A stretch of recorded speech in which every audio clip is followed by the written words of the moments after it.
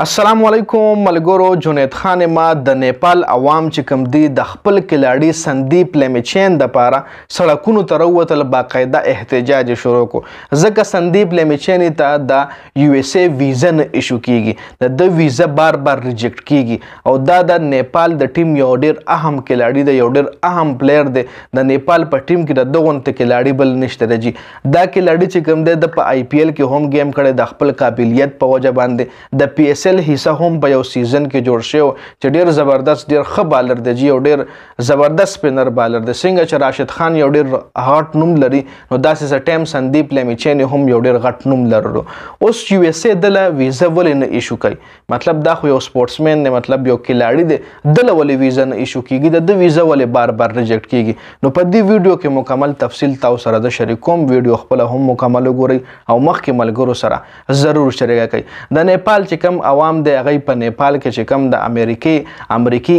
امبیسي د یو ایس ای امبیسي د هغه مخې له سره په احتجاج دي چې تاسو زمونږ کلاړی له ویزه ولې نه ورکوي تاسو زمونږ د کلاړی ویزه بار بار ولې ریجیکټ کوي جی دا ځکه بار بار د د ویزا ریجیکټ کیږي چې په د باندې یو کیسو ا د باندې د لړکی ریپ د جنۍ د ریپ کیسو جی چې په د باندې باقاعده په عدالت کې د جنۍ د ریپ کیس کې سزا هم خاتلې وجی چې بیا د په دویم عدالت کې اپیل کو غټ کې لاړی دی کرپشن خو په هر ملک کې شته دی پیسې په هر ملک کې چلی نو کې د شي پیسې چلولې دویم عدالت کې چې کله د اپیل کو نو دویم عدالت د ضمانت ورکو کې یو عدالت په د باندې باقاعده سزا هم خېجولې وه جي سزا نه پس بیا د دویم عدالت کې کیس واچولو او کیس کې دله بیا ضمانت میلاو شو جي نو اوس یو ایس ای چې کوم دی یونایټډ سټیټ اف امریکا د د ویزه بار بار په دې خبره باندې ریجیکټ کوي چې د دغه جنۍ سره ریپ کړو جي د جنۍ د ریپ د کیس په وجه باندې د د ویزه بار بار ریجیکټ کیږي د نیپال ټیم الریډي یو ایس ای ته رسیدلې ده خو دې کې لاړي له تر اوسه پورې ویزا نه ده ملو شوې او د نیپال چې کم عوام دی غي دا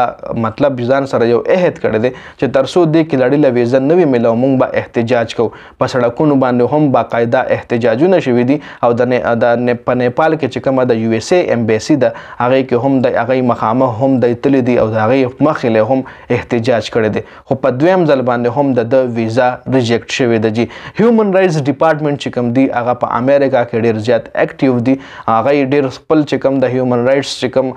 خپل حقوق دي دا غي کمپلیټلی هغه خیال ساتي په پا پاکستان کې هم څه کیسز کې هیومن رائټس چې کوم دی هغه ډیر زیات انوالو ډیر زیات اکټیو هغه خیال ساتي ګوره څومره هم ترقی یافته ملکونه مونږ واچو هغه کې د انسان ډیر زیات خیال ساتل کیږي جی اوس د دا کیس په خپل وطن کې کړي د امریکا کې د نه دی کړي خو د امریکا ویزه نه ورکي اوس ولې ویزه نه ورکي صرف ور صرف دغه یو ریزن دی بل هیڅ ریزن نشته نه په د باندې د دهشتګردۍ دفات شته دی نه د څه داسې بل اکټ کړی دی چې هغې نه دی دهشتګرد ثابت شوی دی نه د امریکې خلاف څه ویلی دی نه د امریکې خلاف